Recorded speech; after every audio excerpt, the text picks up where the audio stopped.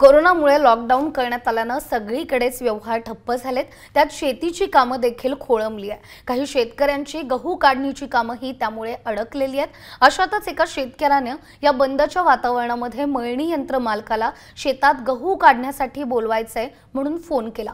पण मळणी यंत्र मालक हे जागरूक होते. त्यांनी शेतकऱ्याला नकार तर दिलाच पण अत्यंत योग्य शब्दात त्यांचं प्रबोधनही केलं. सोशल मीडियावर सध्या ही ऑडिओ क्लिप व्हायरल होते. व्हायरल क्लिपमधील उल्लेखानुसार मळणी यंत्र मालक हे लिंबी गावचे आहेत. पण त्यांची खात्री आम्हीही पटवलेली नाही. पण असं असलं तरी ही ऑडिओ क्लिप अनेकांना परिस्थितीचं गांभीर्य समजवण्यासाठी मदत करू शकते असं आम्हाला वाटतं. त्यामुळे सार्वजनिक हितासाठी ती प्रसारित केली आहे. पाहूयात. हॅलो. हा बोला. हा सर मशीन आणता येईल का तुम्हाला इकडं?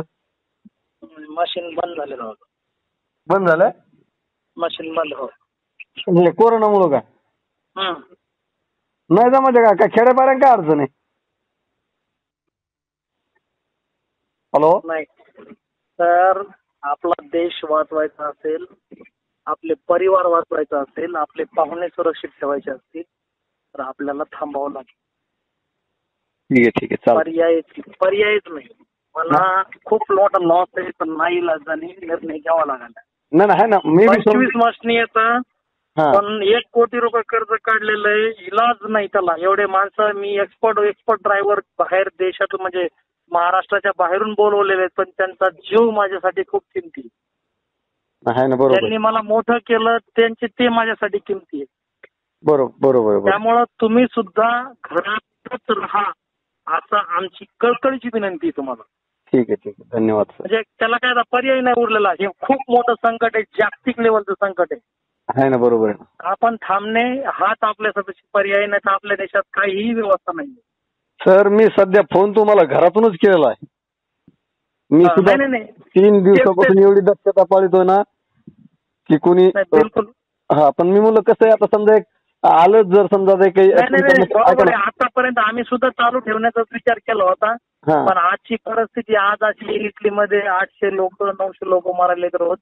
इटलीच्या पंतप्रधानांची जर ती फोटो आणि ते जर व्हिडिओ बघितला तर अंगावर शहारे उठायला लागलेत. आपण. काय करतोय याचं भान ठेवून जर एक एवढं जग सांगते मुंबई थांबली. पंतप्रधान थांबले समजा थांबले मग आपण काय करायलो? बरोबर बरोबर. पर्याय नाही काही. आपण जर थांबलो तर आपण जिंकलो म्हणून समजायचं. ना बरोबर. हा मग हाच संदेश लोकांपर्यंत पोहोचायचा. काही झालं माझ्या घरी जर माझे मित्र जरी आले तर मी त्यांना गेटच्या आत घेत नाही. बरोबर बरोबर. एक महिने या म्हणतो त्यांना आता नाही मी तुमची मदत काहीच करू शकत नाही. ना बरोबर आहे. ना त्यामुळे काय आहे थोडस वाटण वेगळं काहीतरी मी आता मी बोलतोय. एखाद्या वेगळं वाटत नाही. ऐका ना मी सुद्धा काय पूर्ण आता सोशल मीडियावर त्याच्यावर बघतोय ना साऱ्या गोष्टी काय अशा त्याच्यापासून अनभिज्ञ असं नाही ना मला वाटत. मी ज्ञातेच त्या मला कारण गोष्टी. बरोबर मुंबई. पुण्याहून आलेले लोक आहे ना डायरेक्ट गावात यायला आता आमच्या मित्राने ते पुण्याहून आले की त्यांना सकाळीच नाश्त्याला बोलिलं अरे काय कराल तुम्ही? हा. नाही नाही बाहेर अरे मला काहीच नाही. आत त्याच्यातलं बाहेर काढ म्हणलं आत बाहेर का? बरोबर बरोबर हा तर ते मला म्हणते काय लय दिवसांनी भेट मला माहीत नाही मला. तुला बरोबर. जिवंत राहायचं असेल तर बाहेर का? बर. नाही बरोबर. चांगलं काय. माहितीये का? निर्णय घ्यावे लागतील वाईट वाटलं तरी चालेल पण पर्याय नाही नुकसान झालं तरी चालेल. काय का मला तुम्हाला फोन करायच्या अगोदर मला तुमच्याकडून हीच अपेक्षा होती. पण एक कसं असतं माणसाचा लोभ लोभ नावाची असते बा.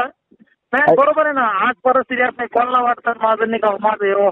आज मी सुद्धा घराच्या बाहेर पडलेलो मी कारण पोरांचं काय स्थिती आहे? ड्रायव्हर लोक आहेत.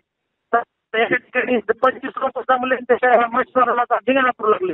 नाही, इथूनच मला नक्की करायचं म्हणलं आम्हाला बंद मशीन आहे ना बरोबर बरोबर. काय अडचण नाही सर? तुमच्या ऐका तुमच्या निर्णयाचं मी स्वागत करतो. आणि असंच मार्गदर्शन कुणाचाही जरी फोन आला तर तुमचं राहू नाही. नाही बिलकुल. मी फोन बंद नाही केला. मी प्रत्येकाला करतोय बोलतोय मी. हा. त्याच्यामुळे संपर्क होतो ना मी फोन बंद नाही केला. माझे तीन मोबाईल तिन्ही मोबाईल चालू आहे ठीक आहे ठीक आहे. काय अडचण नाही. हो हो. ओके